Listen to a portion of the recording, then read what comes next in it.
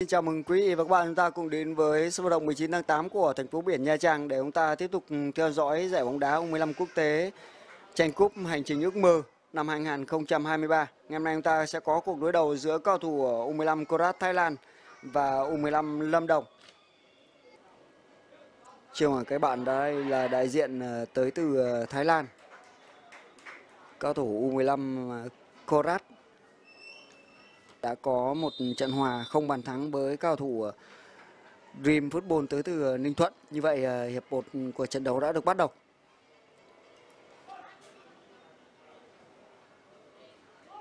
Và chọc khe khá hay cơ hội. Đã có tình huống ra vào của thủ môn bên phía của thủ Lâm Đồng dứt điểm ngay không được. Và xử lý là rất nhanh một tình huống đánh vào trung lộ bên phía cao thủ Lâm Đồng tới từ ờ, đại diện của Thái Lan. Người vừa có tình huống băng vào dứt điểm đó là Karetin Pum Lisang. Và quả người rất hay. Tuy nhiên là tình huống truyền bóng vào, bóng đã không tới được vị trí của đồng đội.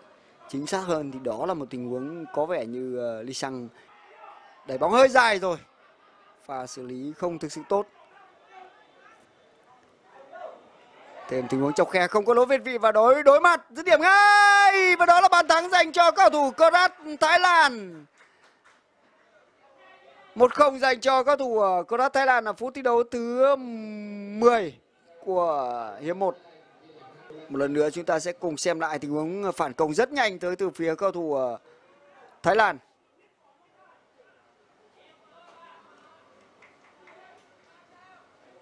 Áo xanh. Khoảng trống. Đường truyền ra. Có thể dứt điểm. Cú dứt điểm ngay. Bóng đi hơi cao. Quay trở lại trận đấu, chúng ta sẽ có một quả ném biên dành cho các thủ của Korat. Người sẽ thực hiện đó là sao Quang Phan.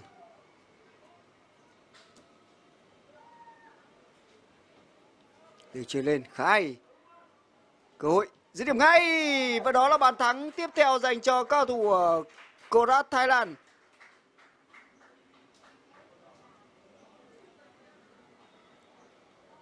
Hai không dành cho đội khách. Vẫn chưa thể biết được số áo như vậy thì à, người đã có bàn thắng đó là cầu thủ áo số 10 Chapimut Chaton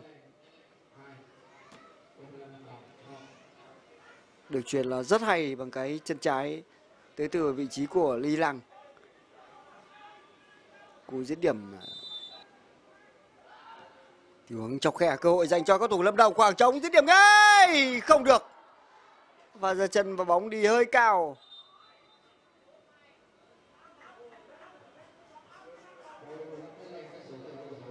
Tình huống ờ, xử lý tới từ đăng khoa. Một lần nữa chúng ta sẽ cùng xem lại pha bóng này. Pha sọc khe là rất thông minh. Và đăng khoa có được cơ hội. Cú dứt điểm, bóng đã đi hơi cao.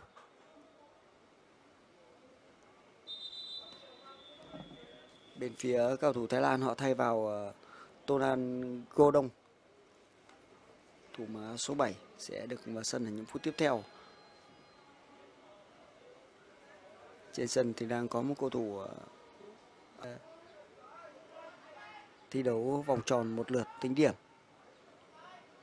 Đội bóng vô địch sẽ nhận được ờ, cúp cờ và tiền thưởng của Korat Thái Lan người có tình huống dâng cao vừa rồi đó là Võ Phi Anh. Đây là lời đáp trả. Rất khỏe, đã có lỗi. Trọng tài đã cắt còi rồi. Trọng tài đã cắt còi ở tình huống bóng trước đó.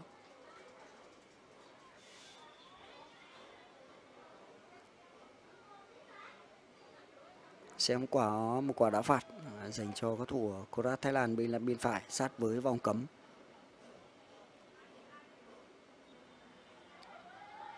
Khoảng trống, cú dứt điểm từ rất xa, bóng vừa đập vào con dọc. Tình huống dứt điểm rất nguy hiểm.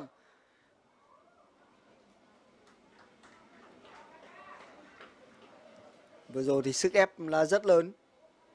Cú ra chân, bóng đi rất căng. Khá đáng tiếc cho tình huống dứt điểm vừa rồi. Không thực sự sáng sủa, tình huống đánh biên, cơ hội dành cho cao thủ thái lan đã có tình huống tắc bóng, tuy nhiên không có lỗi, bóng vẫn còn dành cho cầu thủ Thái Lan. Bóng bổng, nguy hiểm. Tình huống vào bóng rất nguy hiểm bên phía cao thủ ờ, Thái Lan và người vừa có pha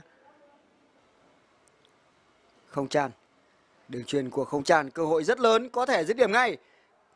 Cú dứt điểm. Pha ra chân, bóng đi căng, tuy nhiên lại không chính xác.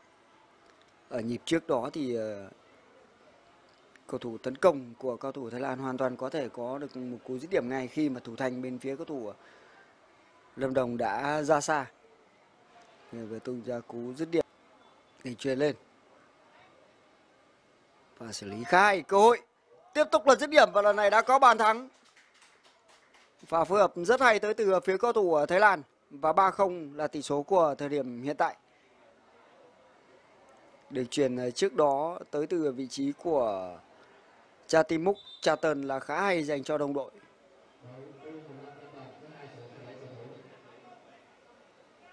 Cú dứt điểm rất căng và tung nọc lưới bên phía cầu thủ của Lâm Đồng.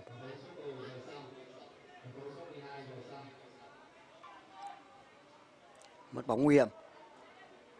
Đi bóng thành công, cơ hội dành cho cao thủ Korat dứt điểm ngay, không vào.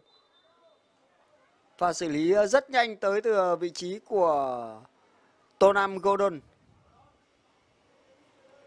Cắt bóng rất tốt. Sốc thẳng vào trung lộ, tiếp tục đi bóng tốc độ. Cú ra chân. Rất nguy hiểm ở pha bóng vừa rồi. Và dứt điểm vẫn là hơi lành, tuy nhiên tình huống lướt lên với tốc độ là rất tốt tới từ ờ, cầu thủ bên phía và xử lý rất dẻo. Đưa vào, dứt điểm ngay! Và đó là bàn thắng tiếp theo. Một tình huống phối hợp rất hay tới từ phía cầu thủ Thái Lan. Không có nhiều ờ, cửa bật ờ, dành cho cao thủ ờ, Lâm Đồng nữa. Người mang về bàn thắng đó là một lần nữa chúng ta sẽ cùng xem lại tình huống xử lý rất dẻo tới từ số 10 của cao thủ ở Thái Lan, được truyền ra là dọn cỗ cú đặt lòng cơ bản.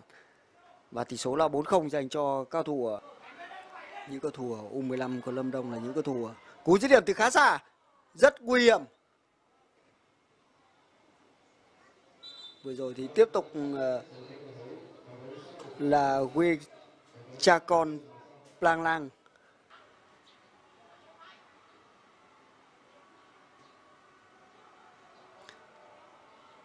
và hãm thành không thành công.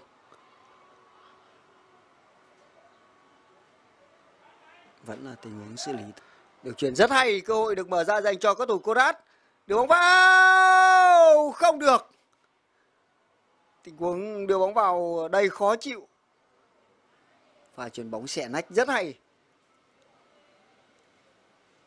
Và đưa bóng vào hướng bóng tới vị trí cột 2 Chakon Lang Lang đã để mất bóng. Vâng và như vậy thì trận đấu giữa cao thủ ở Korat, Thái Lan và cao thủ ở Lâm Đồng đã kết thúc với tỷ số là 4-0 dành cho cao thủ tới từ Thái Lan. Một à, trận đấu hay của các cầu thủ à, đối khách. Và buổi tường thuật trực tiếp chúng tôi cho trận đấu này xin được phép à, kết thúc tại đây. Xin chào và hẹn gặp lại quý vị và các bạn ở